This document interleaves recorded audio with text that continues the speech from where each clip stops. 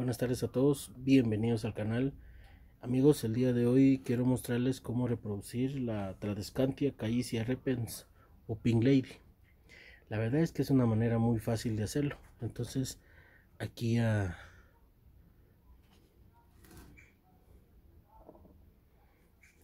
ya tengo este esquejito. Si se dan cuenta, aquí viene ya un retoñito. Este tiene más o menos como unos dos meses que lleva aquí. Lo tengo al expuesto al sol directo. Y ahí va creciendo. Entonces la manera de hacerlo es bastante, bastante sencilla. Entonces ahorita les voy a mostrar. Entonces lo que vamos a hacer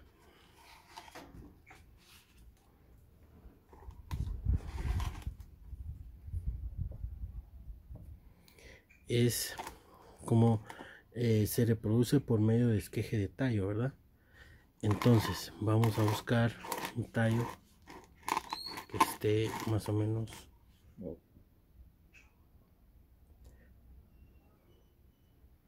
este podría ser.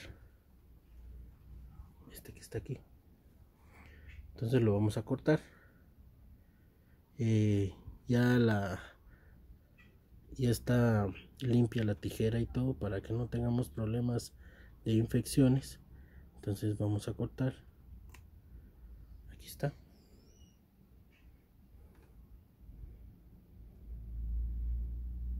Miren qué bonitas las hojas.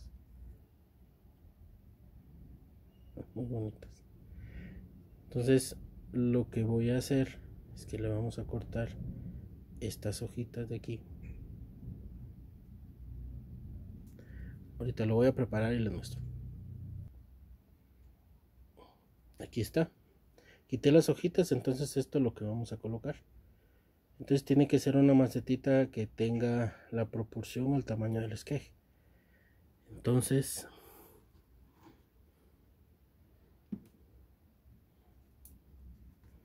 yo tengo esta de aquí que es eh, temporal, solo vamos a a colocar a que tenga que saque raíz. Lo vamos a dejar aquí.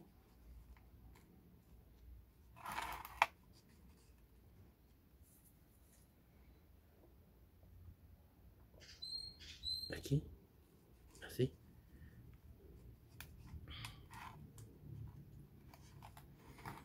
Entonces esto lo dejaríamos eh, posiblemente unos 15 eh, perdón unos 15 días eh, bajo media sombra. Solo en lo que se adapte el esqueje. Y después lo iríamos eh,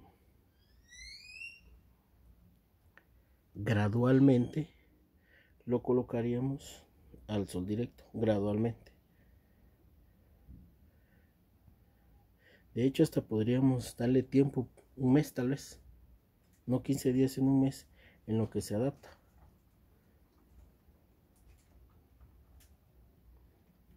para que empiece ya. Lo que lo que vamos a lo que estamos esperando es que saque raíz y después ya la podemos ya la podemos eh, colocar a donde nos nos guste. Yo como les digo va, va a ir directamente al sol para poder tener esos colores tan bonitos Entonces, como ven, es una manera muy fácil. Entonces, gracias por acompañarme. Que Dios Todopoderoso los bendiga y los cuide junto a sus familias. Y si lo permite, les traeré nuevo contenido más adelante. Hasta luego, amigos.